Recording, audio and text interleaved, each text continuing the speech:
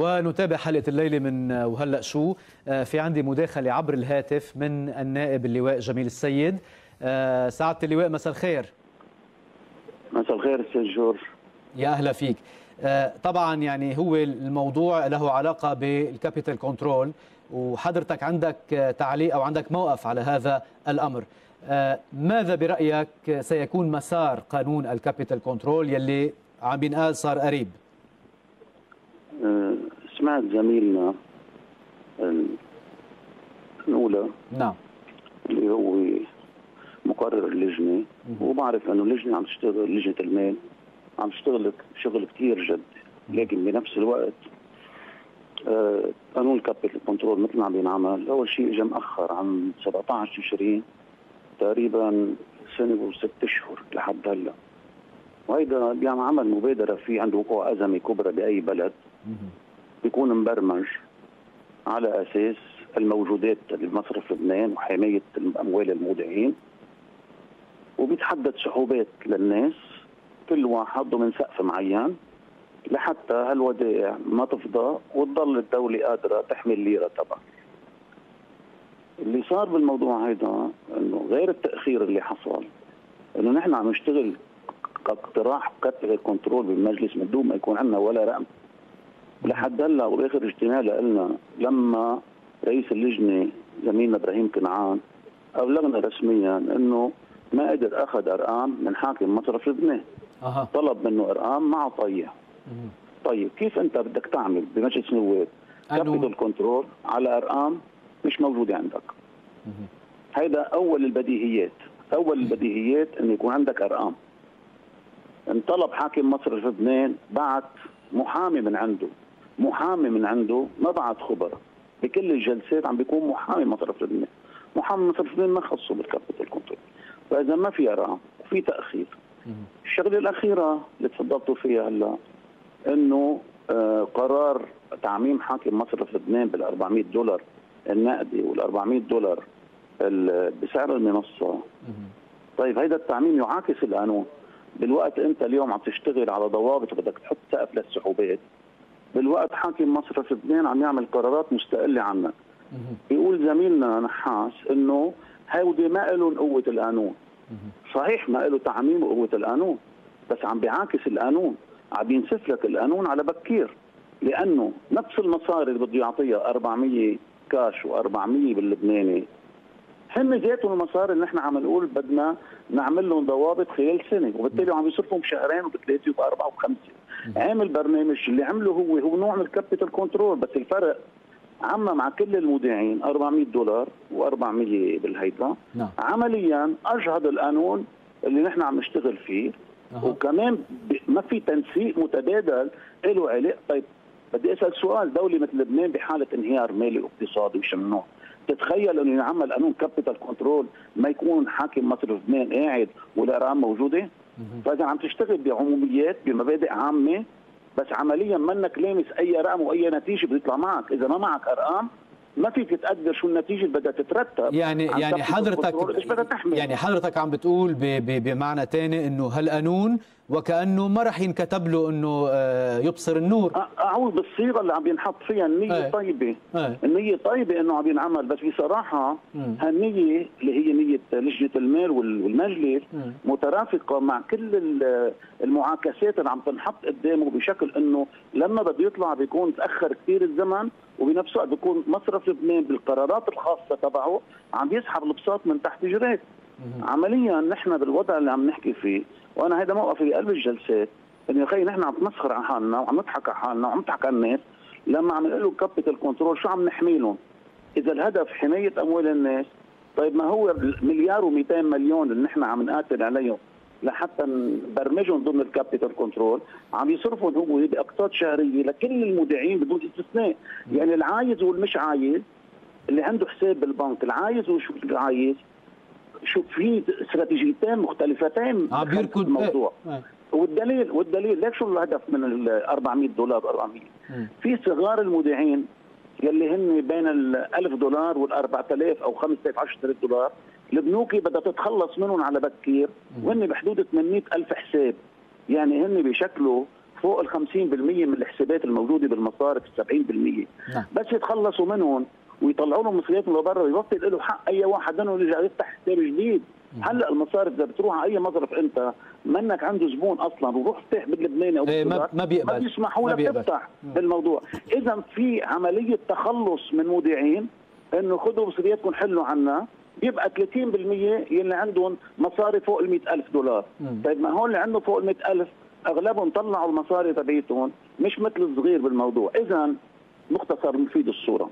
هي عبارة عن خبيصة مالية سياسية لن تؤدي إلى نتيجة وبكرة بتشوف. بكرة بس بدي ينقل هيدا الملف من لجنة المال إلى لجنة الإدارة والعدل. يعني من هالك لمالك لقباض رواح والبلد عم ينهار بنفس الوقت ونحن صرنا هلأ عم نشتغل بهذا ال capital control كم شهر لورا مش هيك؟ بالمسودة تبعيته وبعد ما خلفناه وبالتالي كان في قبل مواقف سياسية من أول من من سنة وسنتين ممنوع ال capital control إذا تتذكر بالموضوع هيدا طيب إنه اليوم أنت عندك انهيار وعم تعالج انهيار بدواء منه ملائم لهالانهيار وبالتالي وين وحدة الموقف السياسي؟ وين وحدة الموقف المصرفي؟ وين التنسيق بين صاحب الأرقام وصاحب التشريع اللي هو بيعمل القانون؟ إذا كله هيدا مفقود كيف تقول لي إنه بده يطلع capital control؟ هذا عنوان طيب. حق يراد به باطل حضرة اللواء من الذي لا يريد قانون capital control بلبنان. مين الجهة؟ مين الطرف؟ مين الاسم يلي ما بده هالقانون؟ ده بحاكم مصرف لبنان ما بده. إيه؟ بصراحة لسبب بسيط. لأنه؟ لما بياخذ القرارات مثل اللي عم بياخذها وعم بيسابقك على المصاري الموجودة ما بقى تقدر أنت تعمل capital control هيدا أول نقطة. ثاني نقطة الآلية الماشية بالمجلس في شغل جدي أنا ما عم بقول حدا مقصر بالشغل الجدي. بس الآلية الماشية تطلب أرقام. معقولة أنت مجلس نواب قيم على أموال الشعب اللبناني كله ولك حق تسأل وين ما كان عن أموال الشعب تحكي مع موظف اسمه مصرف لبنان بتقول له أعطيني أرقام لأعرف كيف بدي أعمل برنامج الهيدا قديش بدي أسمح لنفسي أعطي سقف لهالكابيتال كنترول بيقوم ما بيعطيك. ما بتقدر يعطيك أرقام وبتقول عم تدعي انك عم تعمل شيء جدي؟ فإذا الموضوع كله سواء بالمجلس آلية العمل المعمولة ونقله من لجنة لجنة ذكرني رح ياخذ لجنة الإدارة والعدل فيه شهرين وثلاثة كمان بالتخبيص وبالهيدا.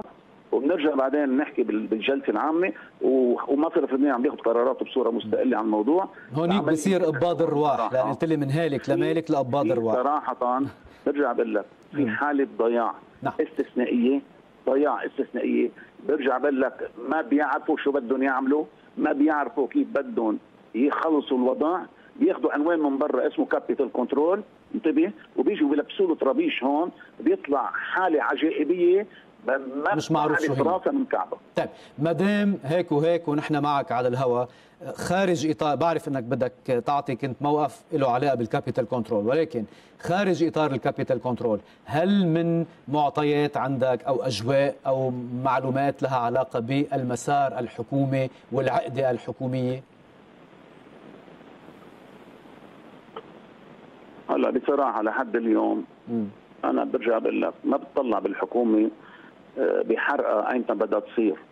لأنه بعد كل هالمهاترات وهالخناقات والخبيط ومثل ما قلت يعني أجلك ما تأخذنا ضرب الصرامي بين أهل العريس وأهل العروس وبيجوا بعدين بده يتجوزوا. هالحكومة هي زواج.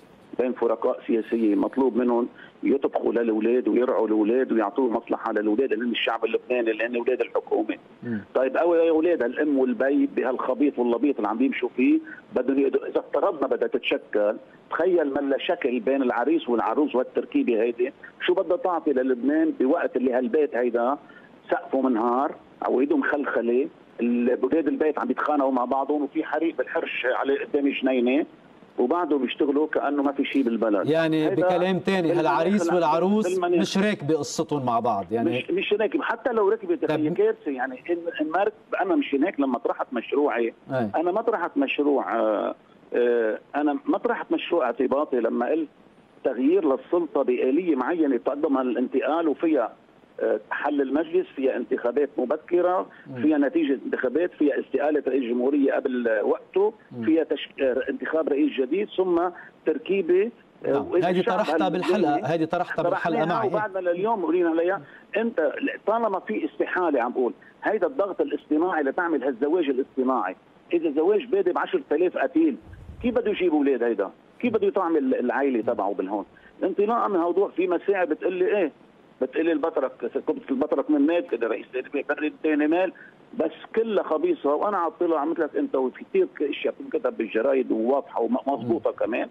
عنوانها إنه الاجتماع اللي صار مع الوزير جبران باسيل الاجتماع اللي صار مع سعد الحريري كل واحد عنده وجهة نظره بين مسألة النص زائد واحد وبين الثلث المعطل وبين الحصة المسيحية اللي هن اثنين الفائض نعم. وبالتالي مثل ما شايف أنا الأمور ورح تشوفها بعدين لقدام قلت له ما بتعرفوا ايمتى في هالنقطة بدها تطور في الكيس وتعمل فوضى بالبلد ولما بصير الفوضى ما بقول حدا يسمع حدا بهالعملية هي إذا نحن عم نقول نحن على الحفة آه أي مسعى رح يصير أنا بعتقد ما رح يعطي نتيجة لأن هذه سلطة أفلست نعم. بكل معنى الكلمة. طيب ما رح يصير في نتيجة؟ فإذا رايحين على شو؟ فوضى بالشارع فوضى اجتماعية معيشية يما شو؟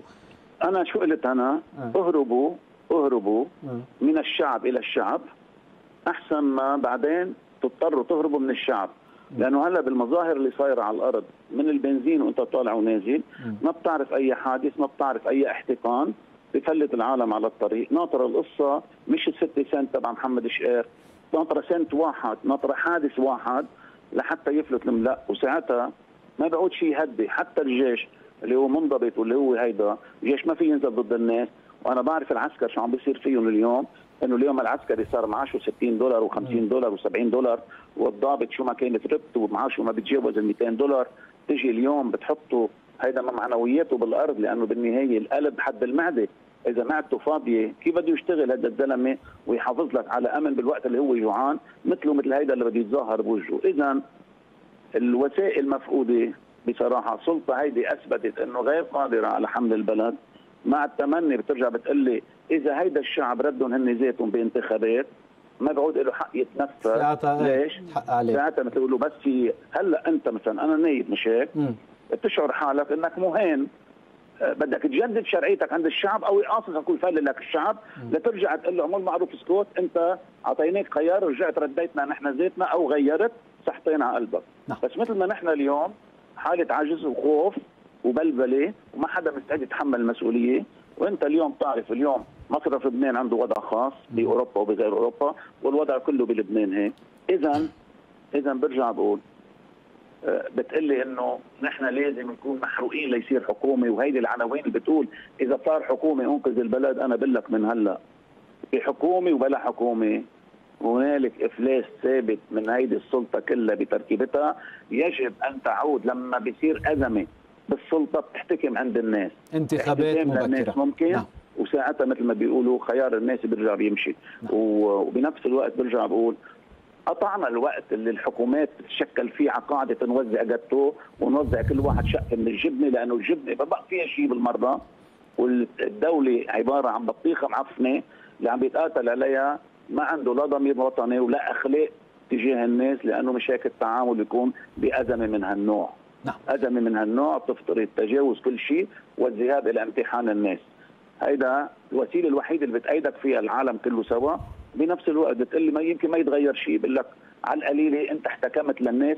ليش الناس؟ لأنه هن صاحبين هالملك هيدا يلي أنت عم بتديره باسمه. أنا بدي أشكرك النائب اللواء جميل السيد على هذه المداخلة. أهلا وسهلا فيك. شكرا. شكرا.